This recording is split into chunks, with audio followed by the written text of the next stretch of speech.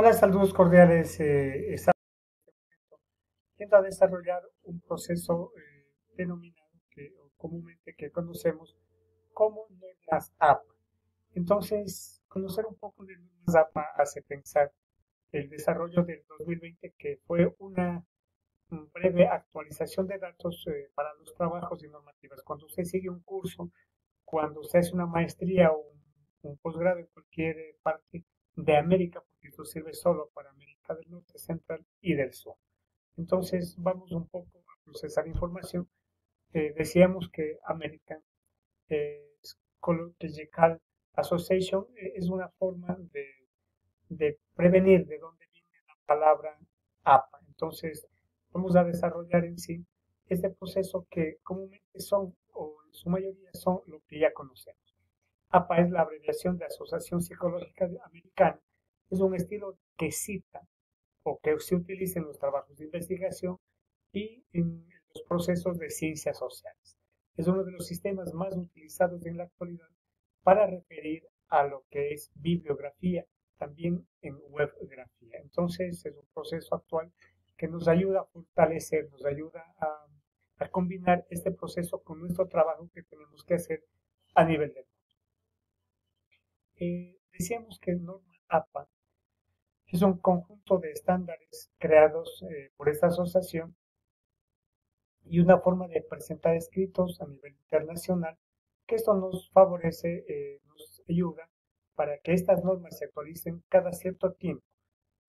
actualmente se encuentra en la séptima edición. Estas normas se utilizan en la mayor parte de países del mundo eh, cuando hay asociaciones y creaciones de, cursos a nivel internacional.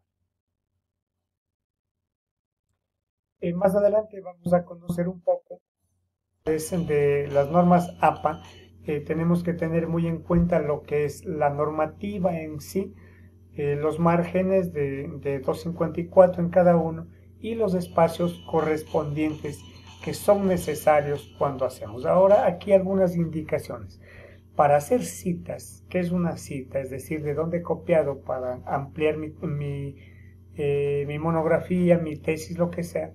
Las citas textuales son de 0 a 40 palabras, más o menos eh, más allá de eso, tenemos que tener en cuenta que tiene otro procedimiento. De 0 a 40 palabras hay que poner entre comillas del mismo párrafo o ahí mismo de forma en el mismo texto. Ahora, cuando son más de 40 eh, palabras, ya no se pone comillas, tiene es en otro párrafo diferente en el formato, hablando que vale en letra más pequeña al final, en el pie de página, allí determinamos lo que estamos desarrollando. Ahora, en forma de citas indirectas, solo ponemos el apellido del autor, el año, y tenemos que hacer un paráfrasis, es decir, decirlo con mis propias palabras lo que el autor quiso decir, y en la webgrafía o en la bibliografía tiene que constar de dónde sacó el, punto, el proceso en sí desarrollado el, el grupo de palabras que hacen un pensamiento, una idea. Aquí decía, en todos los cuatro lados tiene que constar de 2.54 centímetros para el desarrollo del tema en todas sus hojas.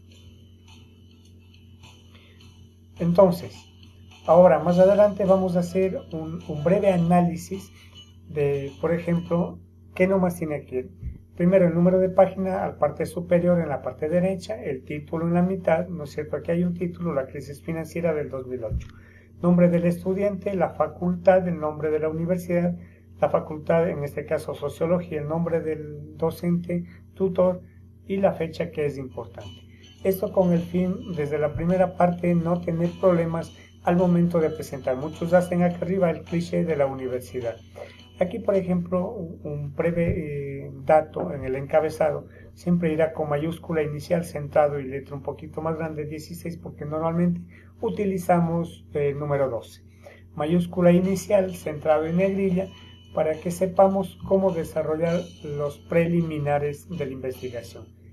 Eh, vamos a hablar también que es una introducción. Una introducción da información de base sobre el tema en general. ¿Y qué debe incluir en la introducción? Cosas básicas. información sobre el autor si está desarrollando con apoyo de un texto, antecedentes relacionados con el artículo sobre el que se está escribiendo y finalmente sobre el tema que se está escribiendo para una mejor introducción que el lector lo va a realizar. Ahora, estos casos se utilizan en estos tres eh, procesos, en los libros que usted va a publicar, en los artículos, en las eh, actividades científicas, en, hay revistas, y las tesis, puede ser de posgrado, ¿no?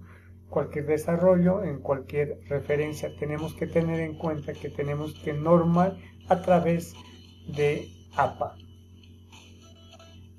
Aquí eh, partes del trabajo de un escrito. ¿Qué son las preliminares? Son hojas que anteceden un cuerpo en donde van a desarrollar un informe. Aquí está la tapa, la pasta, eh, las guardas, las cubiertas de la tapa, la portada al inicio, página de aceptación eh, de la universidad o del centro, página de dedicatoria, si usted así lo va a hacer, eh, página de agradecimiento, siempre son, generalmente son aceptables del agradecer, contenido, las listas del proceso glosario y resumen. Estas son preliminares que van en un desarrollo de tesis, por ejemplo. Texto cuerpo, parte central, donde se desarrolla el tema. Aquí va introducción, eh, los números de capítulos que usted ha, realizado, las ilustraciones, conclusiones y recomendaciones. Y entre los complementarios tenemos la bibliografía. Hoy en día se utiliza mucho webgrafía, ya no solo bibliografía. Eh, bibliografía que decíamos complementaria. También tenemos aquí los índices y los anexos de aseguración que el trabajo fue propuesto y desarrollado en toda su magnitud. Ahora vamos a, verificar un poco este proceso dentro de los acometiamientos de todo lo que se denomina normas APA. Entonces espero que les haya servido para que ustedes tengan una idea de procesar información y cómo desarrollar utilizando normas APA. Nos veremos en una próxima ocasión.